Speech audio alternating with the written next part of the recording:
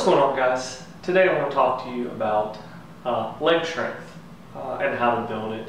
Uh, specifically, how to build leg strength when you lack the proper equipment to do so. Um, you know, as fighters, we know that uh, leg strength is key uh, attribute for our success as fighters. Everything relies on proper leg strength, punching, kicking, throwing, all of it, you need powerful legs to perform those actions powerfully.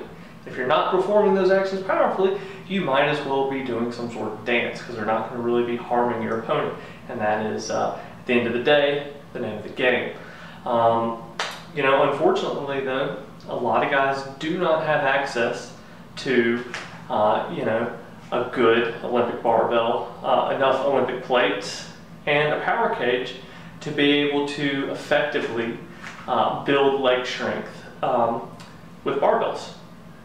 You know, uh, and it could be due to uh, uh lack of funds, uh, lack of space, kind of like I have here in my little one-car garage. You know, I need mat space so I can shadow box and work the heavy bag, and I don't really have a lot of space for a barbell setup. Uh, you know, so I have to make do. Um, you know, so what do you do uh, when you don't have access to uh, a proper barbell setup? Um, you know, the answer is you get imaginative. You, you, you learn to think outside the box. Uh, and so today I want to talk with you guys about two, uh, two exercises that I feel are excellent at building very powerful, very strong legs. Uh, the first is the heavy ass swing. Now, I've talked a lot about swings in the past, specifically uh, the kettlebell swing.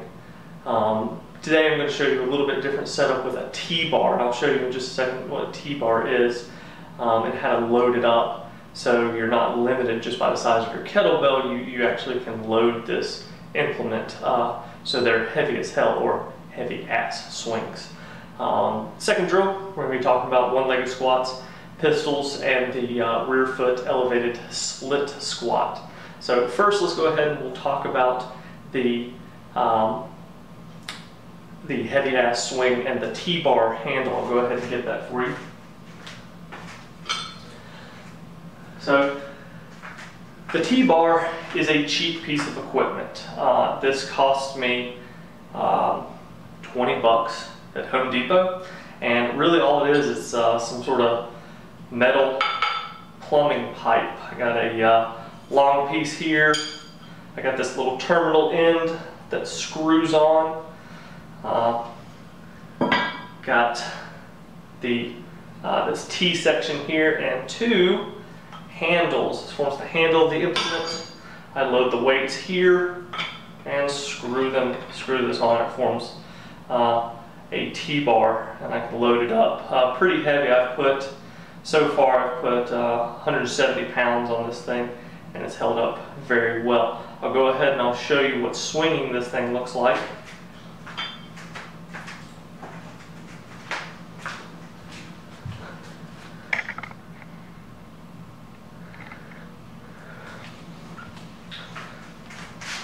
Alright, so I'm going to load it up. I'm going to put my plates on there. These are 25 pounders, so we're going to put 100 pounds on there.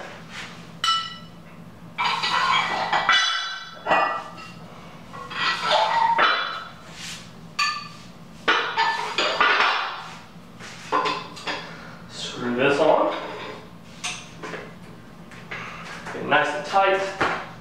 All right, I'm gonna get good swing form. set up away from it. Kind of have to have a wider stance because of the T-handle here.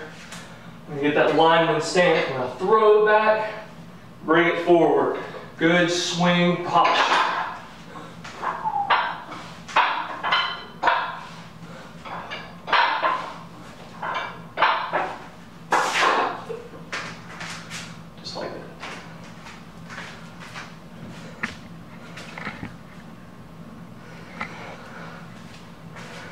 So that is our T-bar swing. Uh, like I said, you can load it very heavy, and that's the key, really, uh, because this is going to be a deadlift alternative, okay?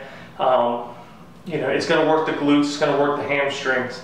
Uh, and the amounts of force, because you have that swinging pendulum-like motion that this drill can generate are uh, pretty amazing, really. And, um, you know, it's a, it's a fantastic drill.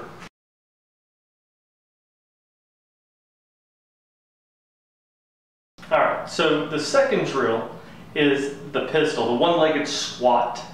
Um, I'm also going to show you the rear foot elevated squat um, in case you're kind of like me right now, you're, um, you're dealing with maybe a knee injury and uh, pistol squats may be aggravated or maybe you just don't have the requisite mobility needed to actually do a pistol squat. So we'll show you both of those. So I'll give you two options um, for the single leg squat. Uh, so first off, we're to start with pistol. I'll get this uh, camera an angle, get it to a good angle so you can see what I'm doing here.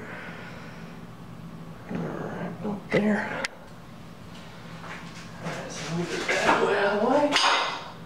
All right, so so pistol squat, pretty straightforward. Weight's going to go on this leg. We're to use the leg that's actually functional. This knee's hurt, so I won't be doing this side. Um, I'm to go, I'm go down. All my weight's here, arms out, and just dip down and back up, just like that. Down and back up. Okay.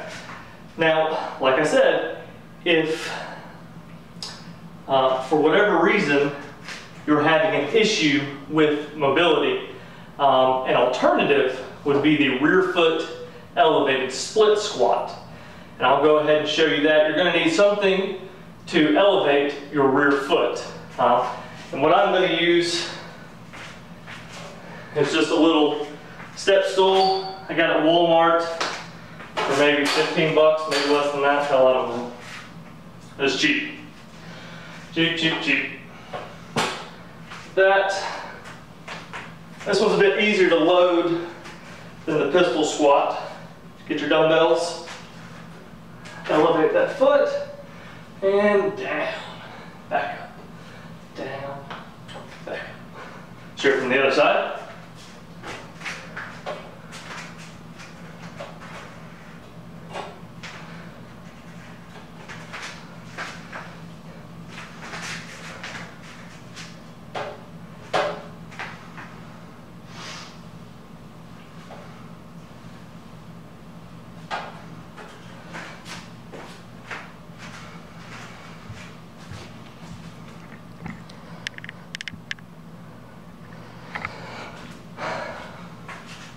And there you have it. Those are two excellent drills. They require very little equipment. Most of you probably already have lying around anyway. Um, give it a shot. Let me know. Um, if you like this video, go ahead and hit that like button. And uh, go ahead and hit that subscribe. Every little bit helps. I really appreciate it, guys. Thank you. Sawadee